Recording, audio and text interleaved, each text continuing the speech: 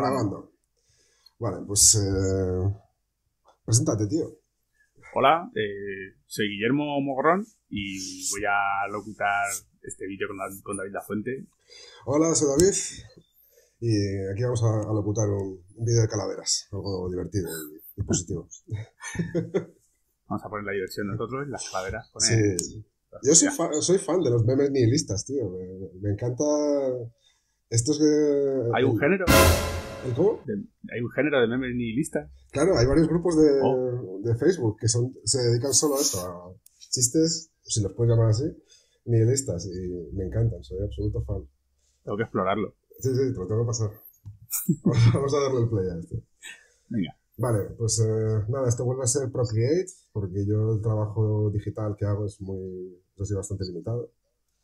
Y, y me gusta este programa, es, es sencillote y... Qué guay, porque no he visto ningún vídeo de Procreate, no tengo iPad y tengo mucha curiosidad por ver eh, cómo funciona y qué hacéis con sí. lo Esta es una captura de, directa del, directa del vídeo, así que es en tiempo real este dibujo tardé en hacerlo, pues lo que tenemos aquí delante, una media hora. Y, y como puedes ver en la, en el, en interfaz del, del, programa, tiene eso, muy poquitos iconos. La, la galería es que tiene un, un, sistema de archivos para, para los propios archivos de, de Procreate, porque como que los puedes guardar como TIFF, como PNG, como varios archivos, pero luego siempre te guarda el archivo como completo. Es como ah. todavía material para poder trabajar en el más. Además, yo sé que a ti te gustan los, los interfaces sencillos, ¿eh? Sí. Es tu guerra en el, contra el Manga Studio y sus ventanas. Joder, la verdad es que cada vez que, vuelvo con la frente marchita al, al Manga Studio, os entiendo más porque es una herramienta increíble. Es, es, eh, increíble lo que puedes hacer con él pero es muy abrumador eh, la cantidad de opciones y la, y la cantidad de ventanas, la verdad. Te, preguntaría si, te preguntaría, perdona, si estás eh, trabajando con alguna referencia a la vista, pero es que eh, los que no te conozcan, o sea, los que, obviamente todos los que vean el vídeo seguramente conocerán tu estilo, pero los que no te hayan visto dibujar en vivo no saben que eres el Kim Jong-gi de España, macho. Joder, Kim, Kim, Jong, pero no. Kim Jong-gi, ¿no? Es el, el, tipo este que dibuja como un plotter humano. Ah, sí, ese hombre, además es que lo hace con pincel, de vez en cuando también. Sí, sí, sí. Es, es, una, es, una, auténtica máquina. No, hombre, que va, ya, ya podía. Eh, no sé, ¿tú eh, utilizas eh, referencia en, yo sí, o sea, mm, a ver, dependiendo del trabajo, pues sí es alguna cosa que, pues, la necesitas por narices, pero sí hay veces que, que sí, cuando se te atasca algo, o cuando, yo qué sé, los dibujantes no lo hacemos sabiendo, ¿no? No tienes por qué saber cómo es exactamente una boca de incendios de Brooklyn de los años 60. No, no, además cada uno tiene su proceso. Sí. Pero sí que es verdad que, hombre, para, para figuras, pues suelo usar poquísimas referencias. Pero para, todo lo demás, coches, edificios, todo eso, sí, sí, suelo tirar de referencia de vez en cuando. Además, que a ti se te nota, tío, que tienes como una, una base de dibujo anatómico súper sólida. ¿Tú estudiaste Bellas Artes o cuál, es tu formación? Pues yo empecé Bellas Artes, hice un año y me fui ahí corriendo y tenía que haber seguido, porque luego tuve que aprender por mi cuenta un montón de cosas que yo al arte despreciaba ahí, en plan, ah, teoría del color, paparruchas. Paparruchas, a quién le hace falta. Y luego yo como un pringado ahí estudiándolo. Hostia, pues por eso me sale mal todo. Entonces sí, sí. Estudiar está bien siempre, la verdad. Eh, y luego pues hice, el, yo creo muchos hemos hecho bachillerato de artes, ¿no? Y un año de ilustración. Un, año, un año de bellas artes que no acabé y un año de ilustración que no acabé. Porque los profesores, con, con las asignaturas aprobadas, se reunieron conmigo y me dijeron que me convenía repetir curso, que no lo había aprovechado. Wow. Y a lo mejor tenían razón, pero no quise seguir. rebelde! Eh, eh, ¿Fue en Madrid también? Eh, sí, sí. En la número 10. ¿Has estudiado en Madrid tú? No, no, yo estudié bachillerato, artístico, ¿no? En Asturias. No, ah. no, no salí a estudiar fuera, fuera de Asturias. estudié en la Escuela de Arte de Oviedo, que... ¿Qué tal es? Mira, los profesores supongo que es como estas cosas que mientras estás allí eh, tienes una relación con ellos y una vez terminas la, relación cambia porque ya no hay una jerarquía. Pero en general, en general muy bien. Y creo que hicieron un buen trabajo de mostrarte, pues eso, obligarte a probar técnicas y, igual eh, otras herramientas y otras... Eso es de lo mejor, tío, de cuando estudias, el, que te obliguen a salir de tu zona de confort, que además la zona de confort cuando estás aprendiendo es, no, no sirve para nada, porque realmente no sabes nada. Exacto, es muy limitada. Tú tienes, lo que tienes son, son gustos, no, no sé, conocimientos reales. No es como que hayas probado todo y hayas dicho, no, me voy a quedar con esto. No, no, no. Es que todavía no ¿Cómo era lo que, ¿Cómo era lo que estás haciendo con la, con la naricilla? Ah, ¿te gusta lo de hacer la puntiaguda y todo esto? Eh, no. Te lo, te lo copio. adelante. Adelante. Una vez me, me dijo. Eh, joder, Klaus Jansson, de, de, entre todos las personas, ¿vale?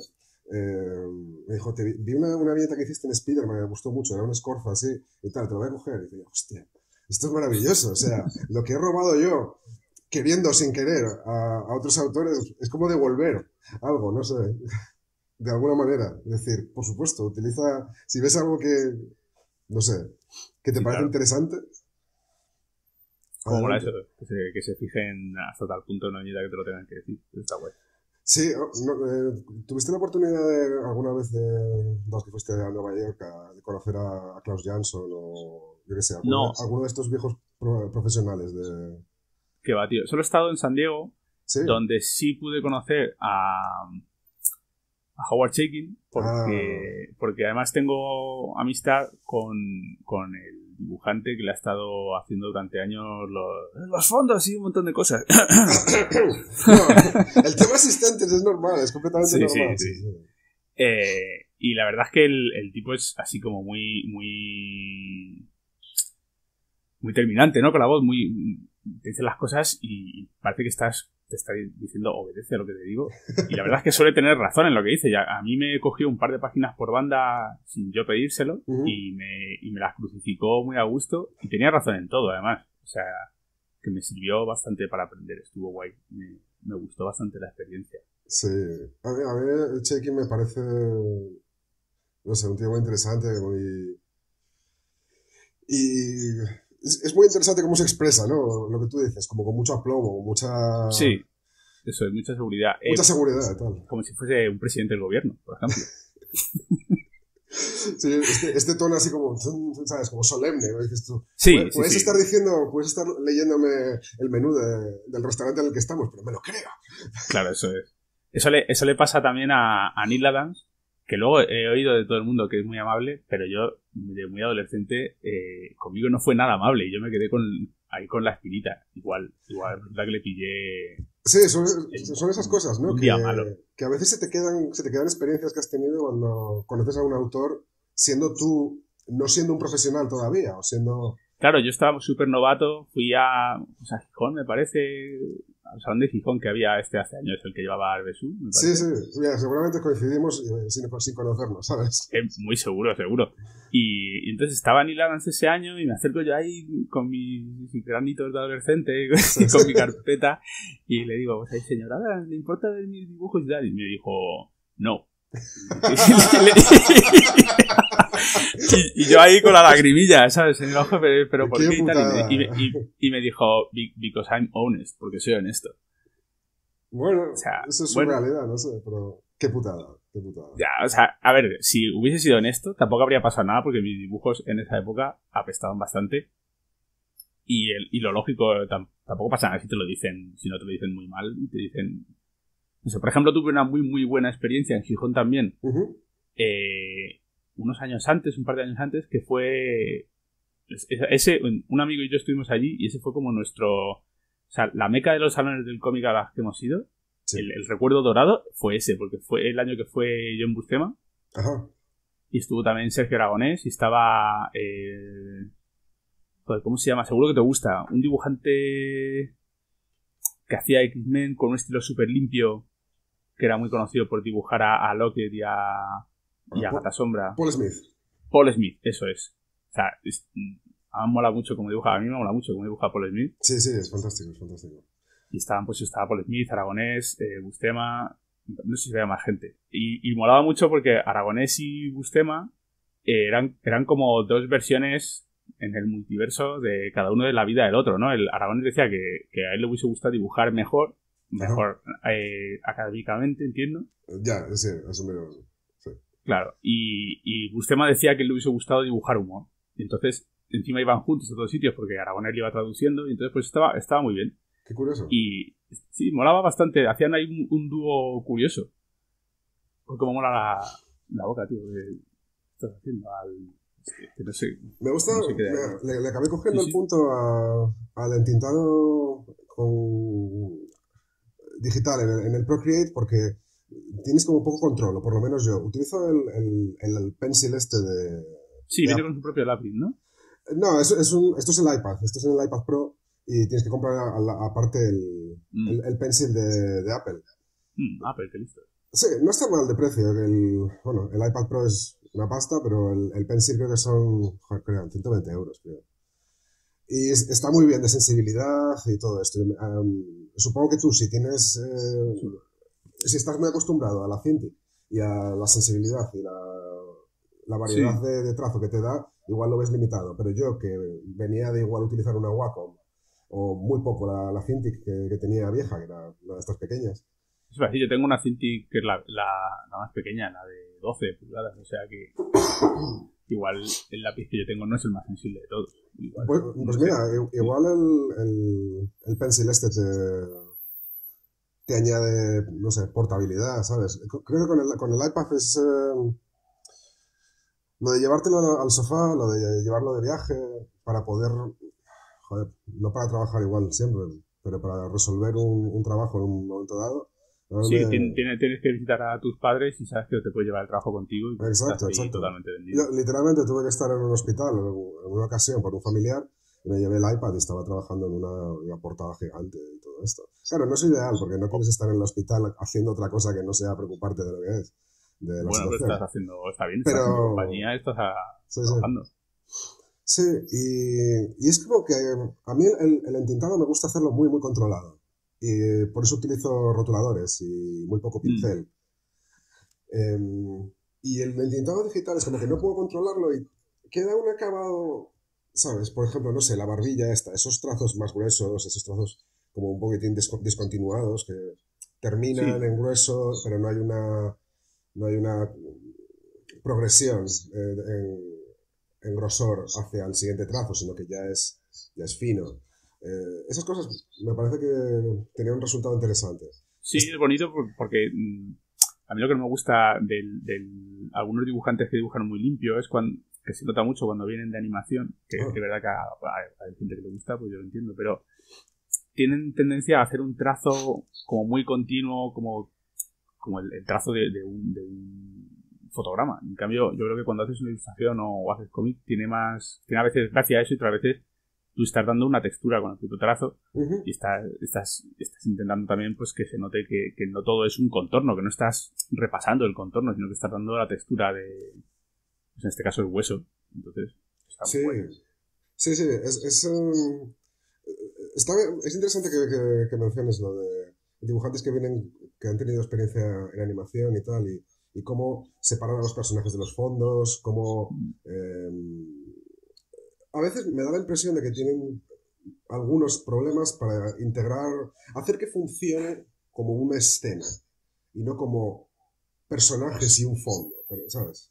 Sí. Eh, eh, no sé exactamente ponerle el dedo en qué, pero también hay otros dibujantes, yo qué sé, em, mismamente John Madureira, Sí, que son, son artistas que tienen tanta, tanta capacidad o le ponen tanto esfuerzo, atención a los personajes que en, el contexto de viñeta, en el contexto de página, hay algo ahí que no funciona exactamente igual que, por ejemplo, el trabajo de, no sé, eh, un Scott Collins o un, o un John Buscema, ¿sabes? ya tú lo que dices es que son tan buenos, de alguna manera, están, están haciendo una ilustración tan bonita, que que de alguna manera está fallando la lectura, porque te, si te paras tanto a ver un dibujo tan espectacular, eh, estás haciendo que la lectura como que se frene, ¿no? Por eso yo pienso que, que, no siempre tienes que meter toda la carne en el asador, todos los detalles en todas las viñetas. A veces tienes que, dejarlo para la viñeta importante o, o, el gesto importante o la splash page o lo que sea. Sí, desde luego. Tú lo, has, descrito con muchas menos palabras que yo. Eh, que lo sepa no, no, quiere decir que sea capaz yo de hacerlo siempre que quiero.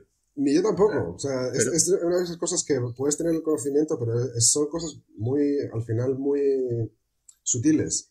Mm. Eh, que cuesta verlas, cuesta evitarlas o reproducirlas cuando estás, eh, eso, con fechas de entrega, trabajando en algo.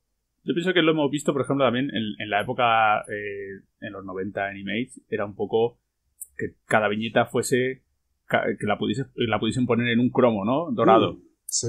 Entonces, sí. Sí, sí, eso, que, no, que no, no era buena narrativa en ese sentido, que el cómic es otra cosa. Creo que ese es un, un efecto secundario de la, de la industria que tienen los americanos. Eh, los americanos, vamos a acotarlo, porque estamos generalizando un poco. Sí. Y a ver, si te gusta un cómic, te gusta un cómic. Sí, sí, sí. Eh, los americanos es, como, hay un, culto al, al, personaje, o sea, los títulos, el título de, de las series es siempre el nombre del personaje, ¿sabes? sí. sí, sí. Y entonces la, la, importancia y la valía de, de un artista está a veces muy relacionada con la capacidad que tenga para ilustrar ese personaje bien. Que el resto no le vaya tan bien es otra cosa, no sé. Sé que, sé que es, es, de mal gusto. no, no, no, tienes tiene razón porque tú sabes que siempre en la industria del, del cómic de superhéroes no te lo dicen explícitamente, pero sí buscan un poco la candy, el que seas capaz de dibujar gente guapa y que haya por lo menos una viñeta que, que sea bonita, o sea, que sea que lo puedas extraer como, pues eso, no para un cromo si hace falta, pero... Sí, una portada, es el money shot, es lo que va a vender el... Claro, pero a, lo que más... Eso es, pero me refería a que en la época de los 90 como que se, exageró eso y todo tenía que ser, cada viñeta tenía que, tenía que ser eso. Sí, pues fallaba narrativa.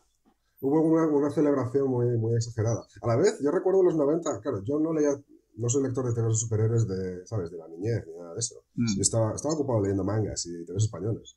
Y entonces cuando llegué a, a los TVs de superhéroes en, en la adolescencia o, casi más tarde aún, y lo que me llamaba la atención era el material que estaba haciendo, yo sé, el Hellboy, Starman, eh, Madman de Mike Alred, y cosas como más hacia, la, hacia, los extremos de... Sí, en, en, los 90 yo... Eh, bueno, a mí, a mí mi Nola como que fue mi mayor influencia en esa época, me, tenía totalmente loco. Y me acuerdo de ir a las librerías con un par de amigos del barrio que compraban cómics y todos se compraban eh, cómics de, pues yo qué sé, de McFarlane, de Liefeld, que algunos tengo yo también. Sí.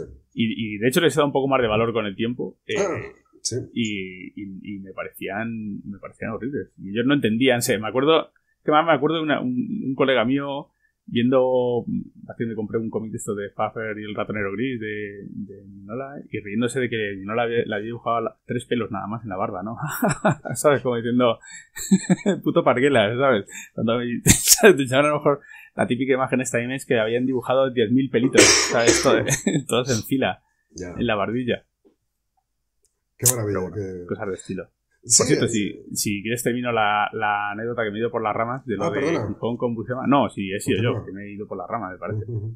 eh, pues ese año había una exposición además de originales de... Bueno, no solo de originales, claro, es que también estaba invitado de, de Kairaki Dinosaurios, de Son of Tales, de Sur.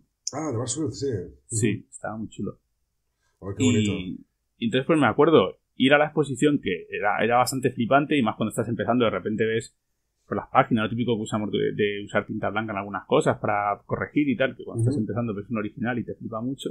Y estaban en el, en el museo Aragonés, Bucema y, compañía, y, como estaba lloviendo, que es muy típico allí de Asturias, pues no podían salir. Y entonces pues se quedaron una hora hablando con nosotros Y mira que Buscema tenía fama, y la tenía allí, y la tenía también entre los fans, de ser muy seco, muy serio. Hombre, era un poco serio también, ¿eh? porque sí le había alguna respuesta un poco seca. Pero con nosotros, con este amigo conmigo, fue súper amable. Y, y el tipo se nos, nos pidió ver los dibujos, lo pidió él. Fíjate, Ulcema, y, y nosotros con unos dibujos eh, amateurs poco, o sea, súper limitados.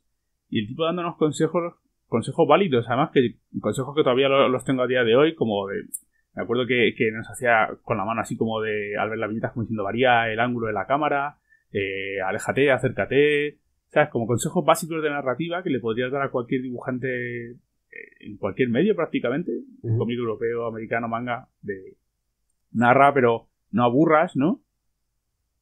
No sé, un tipo, a mí me pareció muy guay, o sea que, Qué bien, Sí. qué, qué- qué buen momento, ¿no? Qué, qué buen recuerdo.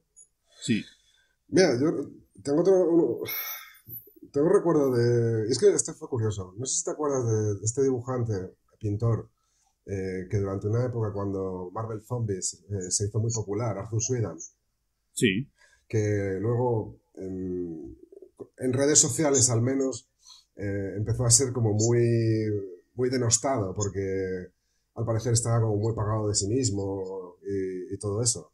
no lo sabía. Bueno, eh, eh, se convirtió como en una especie de, de, de broma recurrente. Porque Aquí, perdón, aquí estás, eh, o sea, cogiendo una parte de lo que tenías como lápiz y en vez de dibujarlo lo estás, estás añadiendo a la tinta, ¿no? Porque te ha gustado. sí, me gustó cómo había quedado estas líneas, est- estos huecos en, en la, en la, la tinta no exactamente negra y, Sí. y esas manchas. Y dije, bueno, voy a recuperar esto en lugar de simplemente. Pero al final, como ves, estuve de- relamiéndolo un montón y probablemente hubiera sido más sencillo hacerlo otra vez. Pero No, pero, No es, pero es un buen, es un buen consejo para el que vea este vídeo, yo creo que esté empezando a dibujar lo que sea, que hay veces que tienes, es muy importante, por, a veces quitar lo que no, lo que sobra, pero Sí. también hay veces que tienes que tener la vista para, para un accidente afortunado o un trazo que quede interesante, mantenerlo, ¿verdad? Sí, sí. Una cosa que a mí no me gusta, por ejemplo, de los programas digitales, que no, no uso nunca, es el, el- los lápices que son de lápiz, ¿sabes? De- Ya, no, yo un, tampoco. un lápiz digital. Es, utilizo siempre los, los, eh, los pinceles de, de pincel, de, de tinta, Sí. incluso para hacer el lápiz. Y claro, sí, eso, por ejemplo, te abre posibilidades como, para, como esta.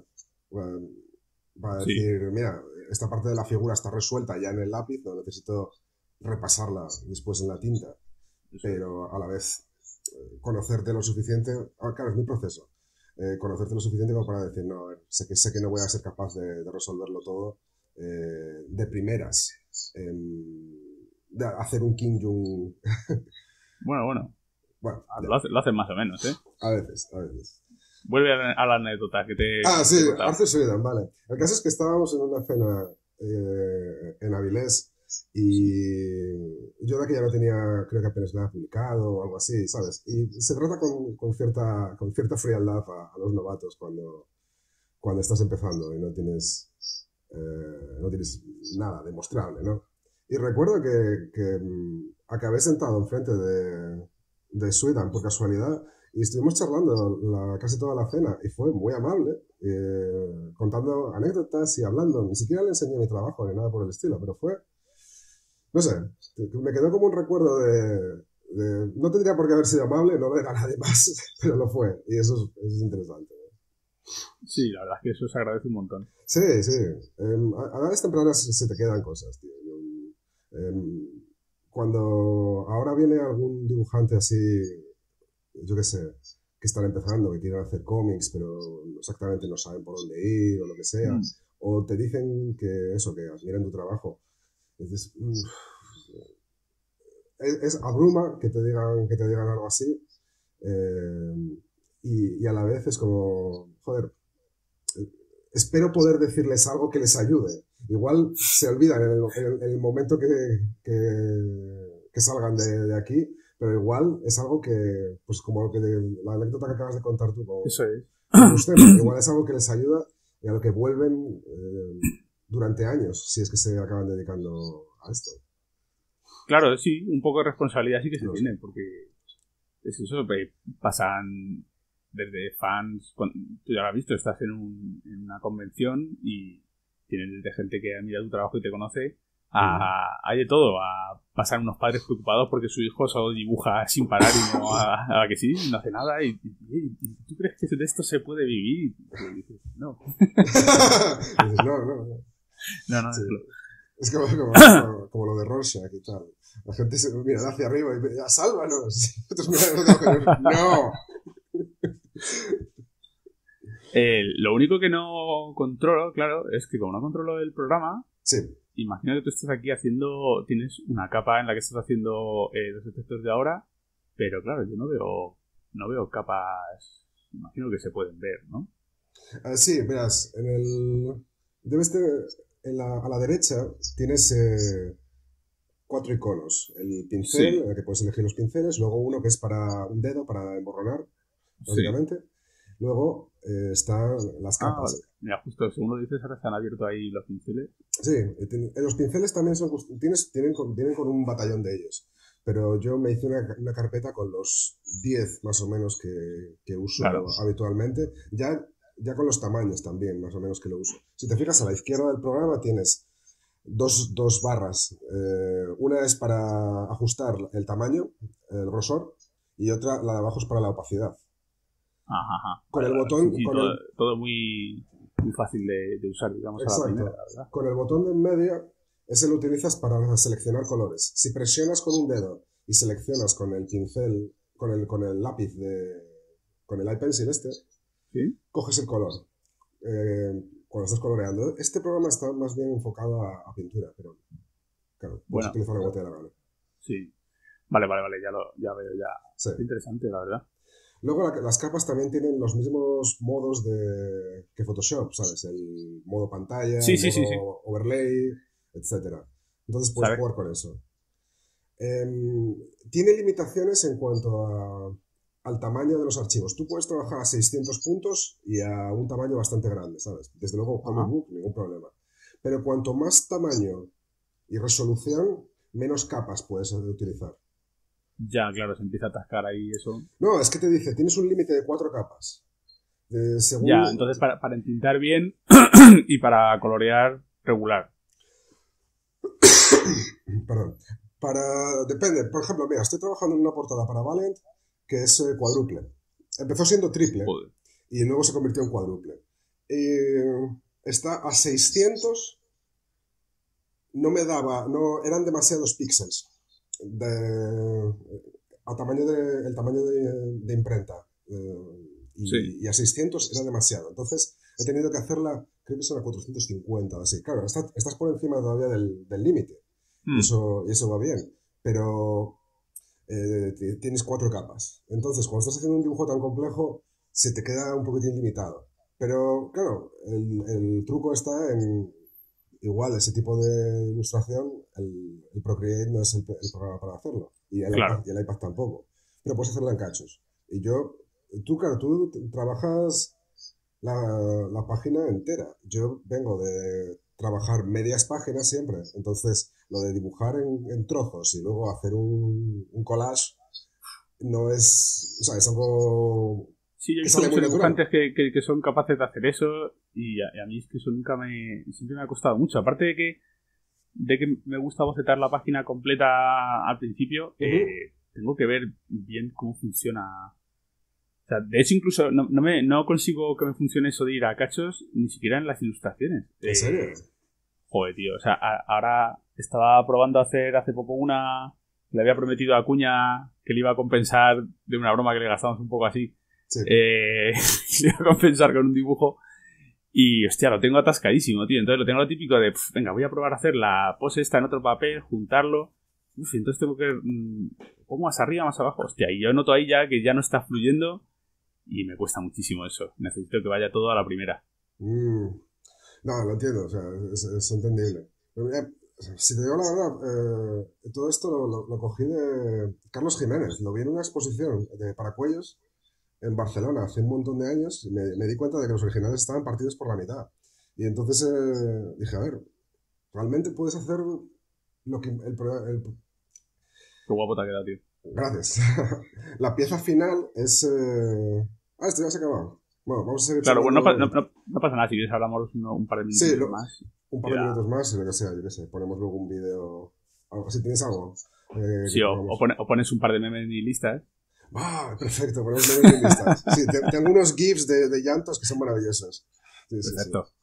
Eh, yo también tuve una charla con Jiménez y aparte sobre, sobre el tema de tamaños también me dijo una cosa curiosa, porque eso también fue en esa época yo ahí muy, muy, eh, muy novato que iba ahí enseñando mis carpetas por todos lados y entonces me... Y, yo había empezado haciendo páginas súper grandes, pues había oído que en el mercado americano se hacían así muy grandes y entonces eh, me dijo que porque no trabajaba más pequeño. Luego con el tiempo no le he hecho ni caso. Pero, pero me explicó que a él le parecía mejor eh, porque controlabas más lo que, lo que estabas haciendo, trabajar en el tamaño real final para hacerte una idea más adecuada de lo que, de lo que tenía el lector delante. Y que, por ejemplo, Altuna trabajaba a, eh, a 4 todo. las páginas con todos los detalles y cosas que mete, todas eran así pequeñitas. Ya, es que al final tienes que encontrar la forma en la que tú estés cómodo. O sea, tienes que tienes que estar, estar cómodo, tienes que dar con el acabado que, que tú, que a ti te sea interesante hacer, que, que encaje con tus gustos y tal. Esto, claro, eh, incluye el tamaño en el, que lo, en el que lo dibujes. La reproducción es una cosa. El tamaño y la forma en la que lo dibujes es otra completamente diferente. Porque está relacionado. Claro, me acuerdo cuando eh, leí acerca de, no sé si recuerdas You Are Here, una obra de Kyle Baker de los 90. Vale, sí, quién es pero no recuerdo la obra. Vale, es, ese TVO eh, lo publicó Vértigo y era una especie de novela gráfica mm, cuadrada, no tanto. Creo que lo tengo por aquí, pero no sé dónde está ahora mismo. Eh, los personajes estaban dibujados aparte en, en, papel de fotocopia, básicamente, uno de 90 gramos o de 80 gramos, con pincel. Y luego los fondos eran 3D, pero 3D de 1996 o 97, o sea, tenía, mm. tenía su aquel.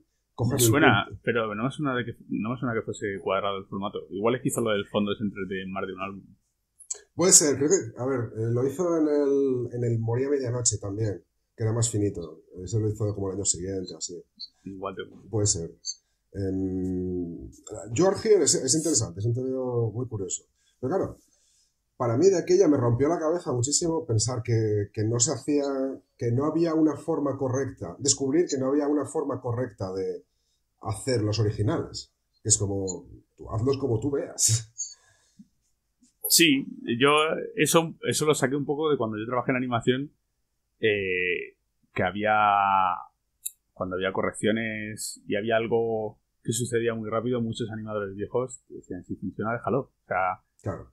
¿sabes? los típicos memes estos que son muy populares desde hace años, de parar un fotograma de la animación de, una serie, pues de Spiderman o de la que fuese, justo donde el personaje o, o, o Bart Simpson, de igual, de repente está como mal dibujado, ¿no? Con la muñeca rota o la cara como rara. Pero es que eso, todo eso en animación es el pan de cada día, no pasa nada. O sea, de hecho esa es la gracia de la animación. Lo que, lo que funciona es el movimiento. Si el movimiento funciona, si tú cuando lo ves el movimiento te parece bien, da igual que entre medias tú parándolo hayas hecho un brazo con el codo descolocado.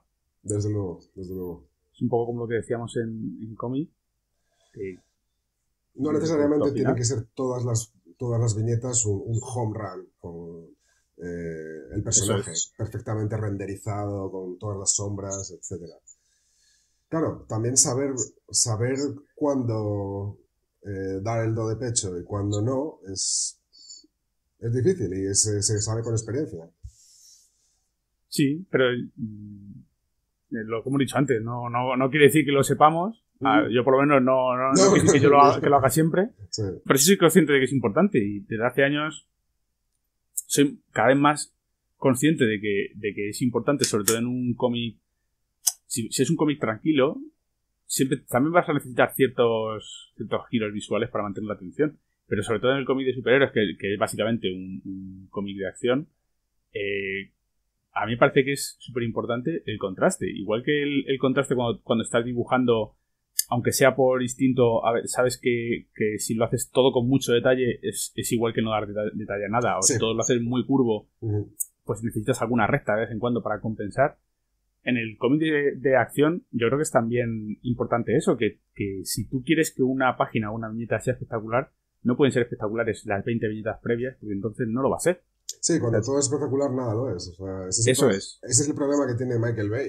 O sea, si todos los Eso planos, todos los planos son de- contrapicados, máximos, con eh, muchísimo movimiento, entonces. Eso es. Es como Vale. si tienes un, un- un batería o un guitarrista que empieza el, la- el tema a- a- al mil por mil sí. y lo acaba al mil por mil. Entonces, pues ya el oído al final te hace bloqueo y solo oyes un muro de sonido.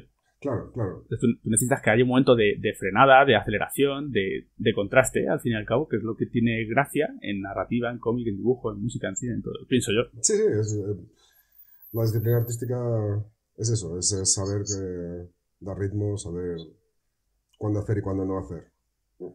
Joder, nos Yo- queda fantástico. Voy a poner el, Ah, yo- el meme más nihilista posible para acabar. Por favor. Una tumba, algo así. Exactamente, una tumba saliendo algo rosita dentro, no sé. Taylor Swift. Pues nada, me alegro mucho de haberte ayudado, tío. Y Joder, Muchas me- gracias. me lo he pasado genial. Eh, tenemos que hacer más locuciones juntos, tío. sí, Bueno. tío, cuando quieras.